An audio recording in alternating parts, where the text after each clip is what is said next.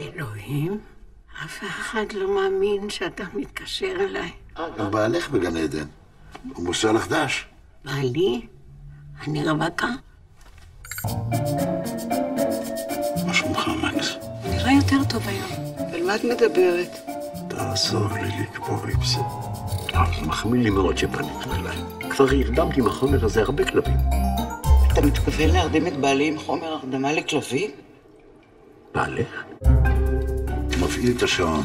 החומרים שלך משתחררים באופן אוטומטי. אתה לא רוצה להגיד לי מה אתה בונה הפעם? אני בונה מכשיר להמתת חסד. מכשיר להמתת חסד על... חבורה של רוצחים, זה מה שאתם. אולי כדאי שנחזור בלילה. כך אנחנו לא מושכים תשומת לב.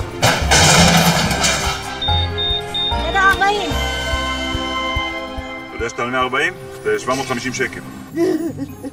טוב, אני אבטח הפעם, סע. אתה יודע, אמרתי שביטלתי. אתה אהבת אותו מאוד, נכון? לא כל אחד היה עושה מה שאת עשית בשבילו. אני לא רוצה לעשות בעיות, רק צריך עזרה לאשתי. ממה היא... סרטן ריאות. רוצה שאני אעשה? אני רוצה שתרד אליו ושתגיד לו שאתה אולי רוצח, אבל לא רוצח סדרתי.